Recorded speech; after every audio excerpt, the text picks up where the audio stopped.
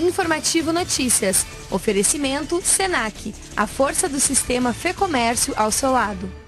Veja na edição de hoje, artistas locais apresentam obras no primeiro Arte Mais On. Horário de verão. Você sabia que a medição do tempo é algo bastante antigo? Educação para o trabalho e para a vida é tema de feira do SENAC. Alunos aprendem informática em nova telesala do bairro Conservas. Agora, no Informativo Notícias desta terça-feira, dia 19 de junho.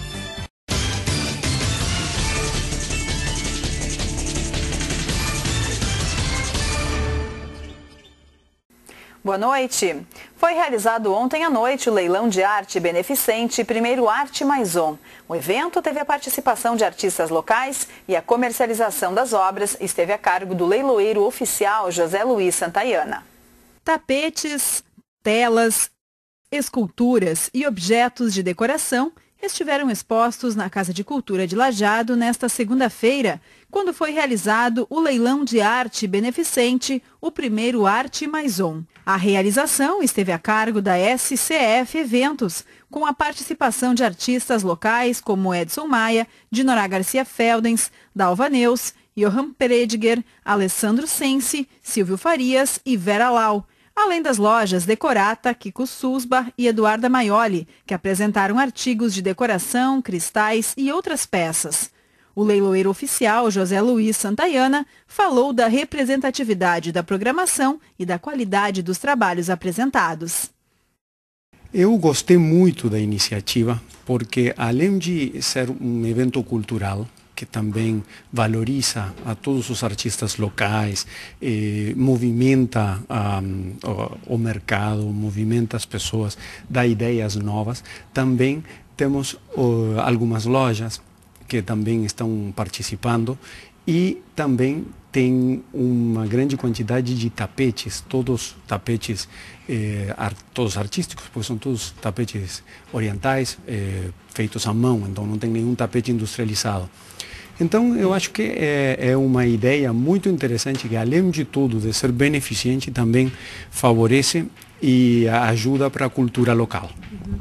E, e, com tua experiência já né, nesse trabalho, como é que tu vê o trabalho das pessoas daqui, esses trabalhos expostos? Eu fiquei surpreso, a qualidade é muito boa, eu gostei muito. O leilão beneficente vai destinar 5% do valor arrecadado para o lar de idosos Tabita. O horário de verão vai reduzir em 5% o consumo de energia. Os relógios foram adiantados no sábado em uma hora. A medida vigora até 20 de fevereiro de 2011. Para alguns, o novo horário agrada, já para outros é motivo de mau humor. Mas você já se deu conta de que precisa do tempo para organizar sua vida? A medição do tempo é algo muito antigo. Desde sábado, os lajadenses estão convivendo com o horário de verão. Tem gente que não gostou muito da ideia. Como é que teu dia é corrido? Sempre foi, mas agora com essa troca de horário dá uma canseira danada. Adiantar os ponteiros para reduzir energia. Este é o objetivo da medida. Mas será que o tempo pode ser domado? Este é um assunto que intriga filósofos e físicos. O tempo é um dos mistérios insondáveis do universo. O passado não está mais aqui. O futuro ainda não chegou e o presente voa. Acredita-se que o tempo começou a ser medido há cerca de 5 mil anos. O primeiro relógio tinha uma haste que projetava a sombra do sol. Depois, os egípcios dividiram o dia em 24 horas. E assim avançaram os relógios no compasso da evolução da humanidade. Dizem que Santos Dumont criou o relógio de pulso, mas essa história é contestada pelos suíços. A verdade é que depois que o homem fatiou o tempo, tornou-se escravo dele. Tá apressado? Sempre apressado. Porque o dia deveria ter quantas horas para você? Deveria ter no mínimo mais que 24 horas, né? Sempre falta tempo para fazer as coisas. No mundo moderno, o que menos se tem é tempo. Mas e essa teoria de que o tempo é relativo? Sim, é verdade. O tic-tac do meu relógio não é igual ao do seu, pois o tempo é uma questão da sua realidade. Mas isso é filosofia, e filosofias à parte, deixa eu ir porque eu já estou atrasada.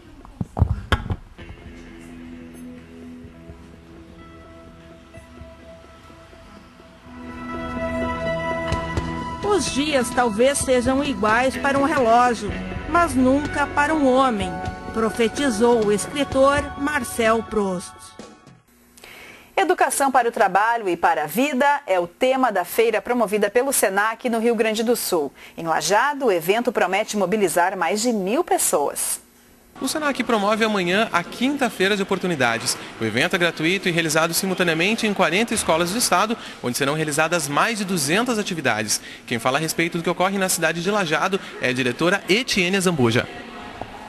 Amanhã, durante todo o dia, nós teremos atividades gratuitas voltadas para a nossa comunidade com o objetivo de aproximar as pessoas das oportunidades que existem no mercado de trabalho.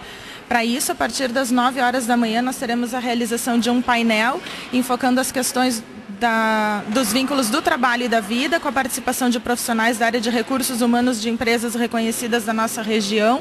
A partir das 14 horas da tarde teremos vários workshops acontecendo simultaneamente, trabalhando o preparo para entrevistas de emprego, como administrar o salário e até algumas dicas em relação a poder demonstrar uma aparência saudável realmente nesses momentos para enfrentar novos desafios no trabalho. E à noite nós vamos ter um painel que foca as questões das tendências do mercado. Teremos a participação do vice-presidente de capacitação da CDL, o presidente da Cindy Lojas e um professor do SENAC da pós graduação que vem falar para a gente da área de TI. Então teremos aí o foco da gestão, comércio e tecnologia. Qual é o futuro do trabalho nestas áreas? Das 5 e meia da tarde às 7 da noite, nós também teremos aqui no Senac diversas agências de emprego que vão estar aqui oportunizando vagas e fazendo o cadastro gratuito do pessoal para que possam mais rápido então se inserir no mercado, bem como vamos ter aí computadores disponíveis para todos aqueles que queiram se cadastrar no portal do Senac Empregos e Currículos, onde muitas empresas ali também buscam talentos e acessam aí as pessoas que buscam a sua formação profissional no Senac. O Senac amanhã então está aberto para toda a comunidade a gente conta com a participação aí do Vale do Taquari. Nesta sexta-feira, dia 22 de outubro, às 7 da noite, no auditório do prédio 3 da Univates, ocorre a final regional do concurso Oratória nas Escolas, promovido pela JCI Lajado. A final do concurso contará com alunos concorrentes de várias cidades do Vale do Taquari. A programação é aberta ao público e a entrada é gratuita.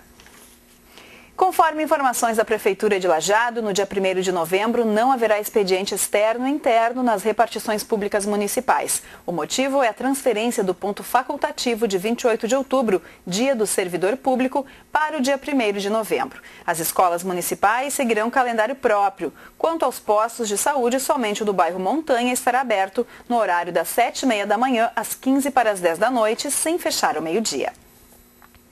E escolas de toda a região vão se encontrar em programação especial durante a Expo Vale 2010. Será nos dias 16 e 17 de novembro, das 2 às 6 da tarde, no Parque do Imigrante, em Lajado. A Expo Vale 2010 ocorre de 12 a 21 de novembro, numa realização da ACIL e Prefeitura de Lajado. Veja a seguir, alunos aprendem informática em nova telesala do bairro Conservas.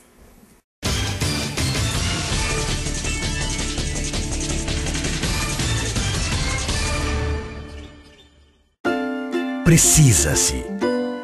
Precisa-se de bons profissionais e de bons cidadãos. Precisa-se de ética, mas também de conhecimento e técnica. Precisa-se de sustentabilidade, de felicidade. Precisa-se de liderança, de motivação. Precisa-se de paixão. Senac Educação para o Trabalho e para a Vida. Além de plasma, seu sangue contém milhões de hemácias, leucócitos e plaquetas.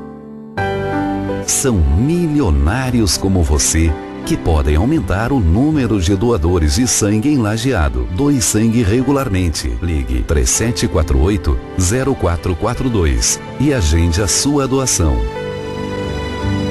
Uma campanha da Câmara de Vereadores de Lajeado em prol do Hemovale.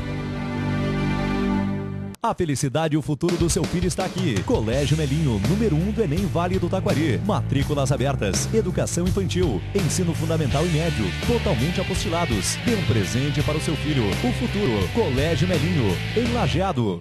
Pensou em trajes? Pensou em Teva. Nas lojas Teva você encontra a melhor linha de trajes do Brasil. Com qualidade excepcional e caimento perfeito, os trajes Teva se tornaram o primeiro nome na mente dos homens mais elegantes da cidade. E agora, com a promoção de trajes Teva, ficou ainda mais fácil andar na moda. Passe nas vitrines das lojas Teva e confira. Quem compara preço e qualidade, escolhe os trajes das lojas Teva.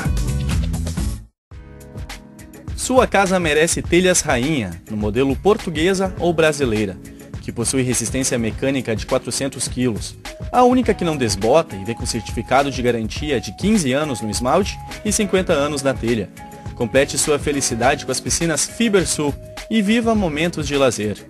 Aquatelha, piscinas e telhas. Ligue Aquatelha 3714 3121 ou 9918 1128.